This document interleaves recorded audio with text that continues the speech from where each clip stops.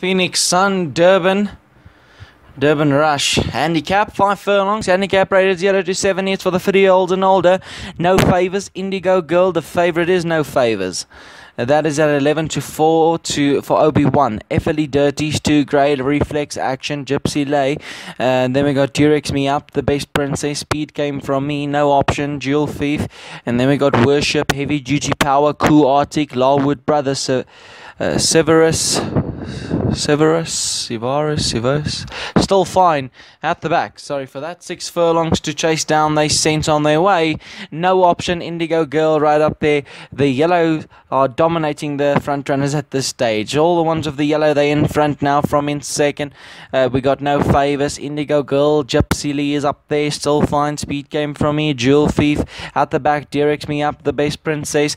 There's three and a half left to track down there on the sand. Severus is in front. No option is back in second now. Gypsy Lee is trying to come a bit closer to them. They make that turn in for home, and the action is starting to unwind. Who's going to come from the back? It's going to be quite hard for them to catch them on this. And Severus might have gotten away from them now, but he's been tackled by no option. Gypsy Lee, and no option now puts his head in front. He's fighting on courageously. Gypsy Lee from the back. Gypsy Lee, no favour. Severus, they make a line of three. These three, the rest look beaten. There's nothing coming out of the pack. No option. Gypsy Lee, and no option. He, there's no option. He's getting beat today. No option will win. Gypsy Lee is trying to hang in for second. He did so. Back in third. Jewel Thief and Re- Reflex Action got in for fourth. There's the confirmation. The favourite Obi-Wan will prevail for no, no option is the name. Gypsy Lee second. Jewel Thief back in third.